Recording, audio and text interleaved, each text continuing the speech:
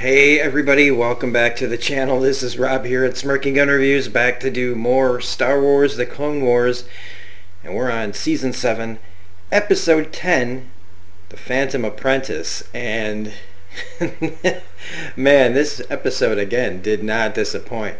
They really are banging it out real hard these last few episodes to give a pretty decent conclusion to the actual Clone Wars story. And whether or not this is the story that needed to be done, I don't know. Um, but it's definitely the one that we're getting, and I'm liking it. And in some ways, it's bittersweet. Some ways, it's just bitter. Some ways, it's just sweet. But there's a lot of things going on in this episode that just kind of make you go, oh. So there's a few things that just make you go, oh man, like, oh. And we get a lot of dots getting connected and things like that. Um, and ultimately, we get a pretty decent Darth Maul story. And I think that the this episode and this arc that they're doing is an earned arc for these two characters.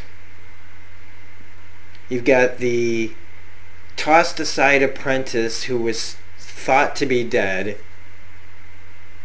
and has been around now through the Clone Wars and Rebels and, and all sorts of shit. Darth Maul is the cockroach who can't who just won't die. And you know, he's he was he played his role and he realizes now what his role in it was and what he his plans are now and he's perfect for this. This castaway character, this person that's supposed to be dead, this person that most people just want to see dead and knows it. And then you have Ahsoka, the Jedi in training who was pushed out by the council and basically fucked over bad.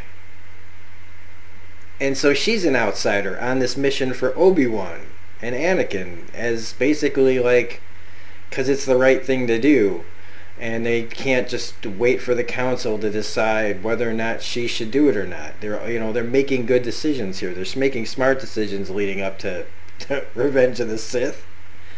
Um, and so these two characters meeting in this moment uh, it fits. You know, like because honestly, what were these characters? You know, the ultimately que- the question now would have been, what were these characters doing during all of this? And we get that answer. And if Darth Maul had figured out a way to do this, or if they had written Darth Maul to figure out a way to do this, uh, they had to do it so he fa- so it fails ultimately, right? They can't write it smart. Like, okay, Darth Maul goes, finds a way to get to the Jedi Council to tell them, guess what? Darth Sidious is that motherfucker right over there. The most obvious villain, I feel like, if if Palpatine was it was any more obvious, he'd be Clark fucking Kent. Okay, because the because I, I like I know I'm I've tried to look at it from the Jedi Council's perspective, and I've tried to look at it from the galaxy's perspective, and it just it's not just the fact that like he goes and does you know like he can just be somewhere where he pulls the cloak up and he just changes his voice.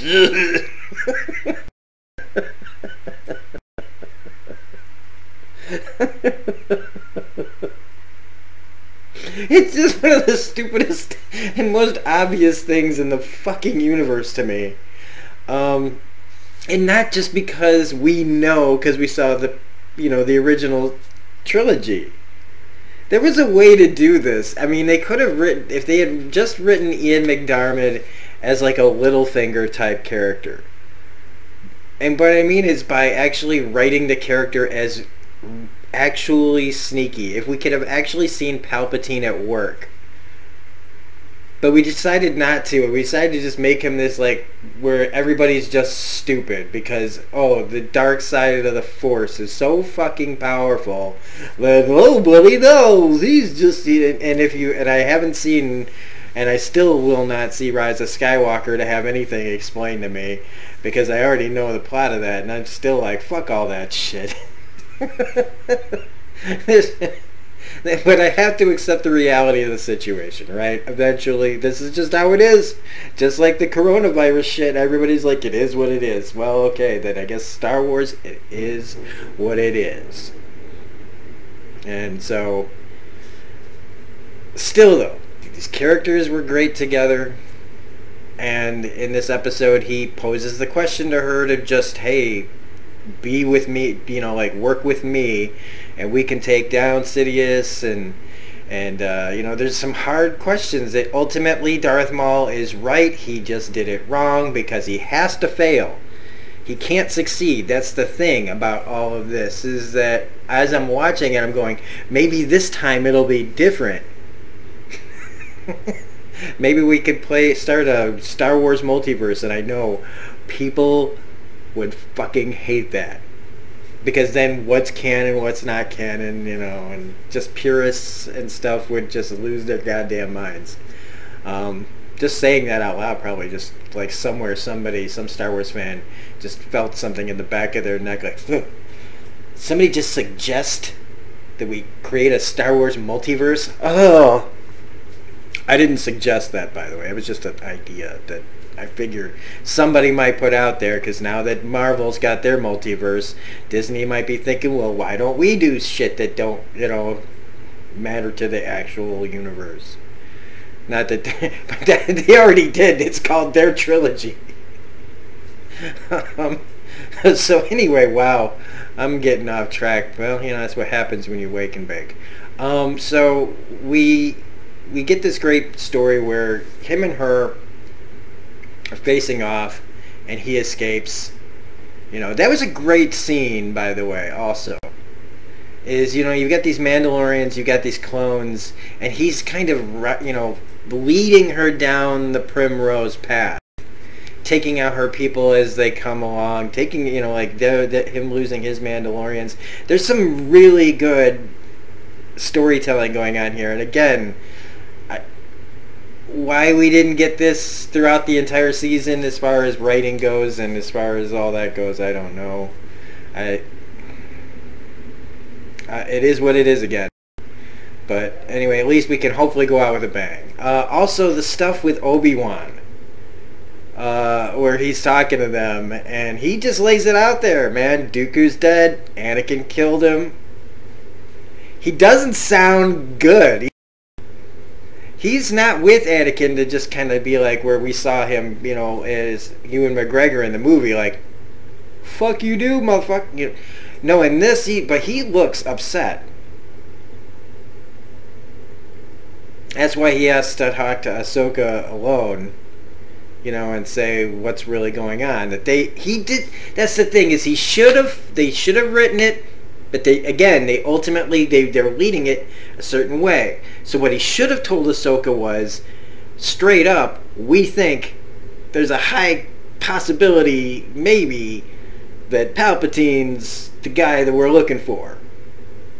But if you if you say that line of dialogue, then it changes everything. And she wouldn't be as conflicted at the end, or she wouldn't be so adamant at the end of the episode to be like, "You don't know what you're talking about." Anakin, like if she had prior knowledge to Anakin looking into this guy because they think he is, then she wouldn't have reacted. Her react. They were trying to get a, re- a, a believable reaction out of her, so they couldn't say that right line of dialogue. And I almost like I, I Darth Maul's a, a piece of shit. Um, wonderfully voiced, by the way. Again, like it's nice that they were able to get the original Ray, you know, like Ray Park back. Now I looked on IMDb and they bo- they've got both Witwer, Witwer and him on there listed in the cast. So whether it's Sam doing an impersonation of Ray Park or if it's Ray Park doing Ray Park, uh, I hope it is. Uh, it's nice that they brought him back. Uh, if they did. Um, I think it's fitting for the character to completely keep going. I mean, unless he shows up in that Obi-Wan show that'll come out someday. Um, but the stuff where he's talking about that, if they'd just been clear about that. But no. Also, we've got Order 66 right around the corner because Obi-Wan's talking about, I'm going to find Grievous. And So we all know this is coming right up, and there's Rex standing right next to Ahsoka. And thank goodness, right? Basically, when he says that he can't send more troops, that's actually to her benefit. Because they have to explain how she, you know, gets away from this because this is literally going down. This all goes down really fast if you think about it. You know, you get in your ship, you go light speed, you land on the planet. This this all takes place over like probably a few days, really. Um, and so Order 66 is is coming right around the corner. And then when Darth Maul lays it out, right? He lays it out for her. Um, and she still won't side because she's she knows Anakin and, and we all know Anakin and everybody else thought they knew, knew Anakin. But she hasn't been around. She wasn't there when he went on nanners and, you know, after the Tusken Raiders killed, you know, her mother and all that stuff and him sliding down a little bit. She's she's been off, and they haven't told that story. And that's another thing. That's another huge missed opportunity for this show. Is showing that uh, a little bit more. There's so many different ways they could have done it. Instead of giving us a four episode arc of Ahsoka with some laughable episodes that are just just I don't know who I know who they're for, but they're not. For, they really shouldn't be for general consumption by the anyone. And the Bad Batch was fine, but I mean we're missing. We got so we got four solid episodes that they could have done more world building, more explanations. Give us give a bridge in between Clone Wars and and Sith a little bit more, showing a little bit more of that dark side of Anakin that was coming out. But no, and so we we're revving up to a great couple of last couple of episodes. Uh, when he gets captured, when she lets him get captured at the end, instead of falling to die, he wants to die. If he can't save, he understands that if he's taken, okay, they can use him. They can, and she does not know that. She doesn't know that letting not letting him just die is worse.